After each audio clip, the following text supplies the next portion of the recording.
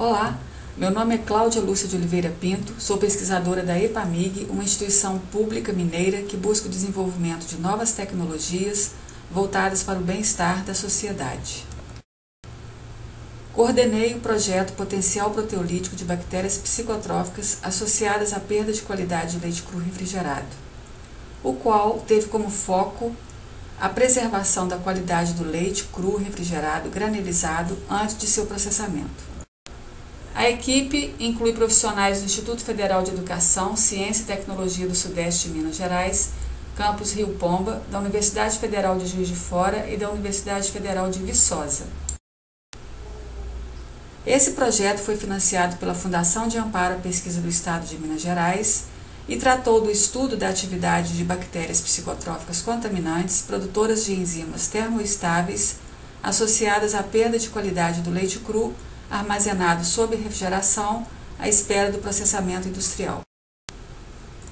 O projeto teve como diferencial a avaliação da contaminação do leite cru refrigerado com bactérias psicotróficas, produtoras de enzimas deteriorantes e o emprego da técnica de eletroforese em gel de poliacrilamida para demonstrar o efeito deletério dessas bactérias sobre as proteínas do leite, mesmo em temperaturas de refrigeração recomendadas pelo Ministério da Agricultura, Pecuária e Abastecimento. O conhecimento gerado tem potencial de impactar positivamente da produção de leite ao consumidor final, por meio do aperfeiçoamento de procedimentos e do subsídio de novos estudos acadêmicos. A nossa expectativa é de que os possíveis impactos desse estudo para a sociedade incluam o acesso a leite derivados de alta qualidade microbiológica e maior domínio dos procedimentos e técnicas de obtenção, armazenamento, transporte, estocagem e processamento para a prevenção de contaminações microbianas. As produções científicas geradas no âmbito desse projeto incluem capítulo de livro, artigos, resumos e apresentações em eventos científicos e coorientação de estudantes de mestrado.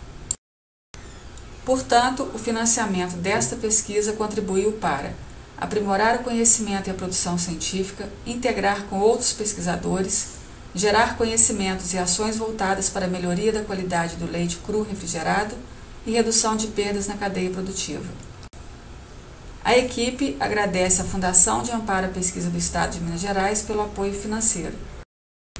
Para maiores informações, disponibilizamos o telefone e o e-mail da EPAMIG Sudeste.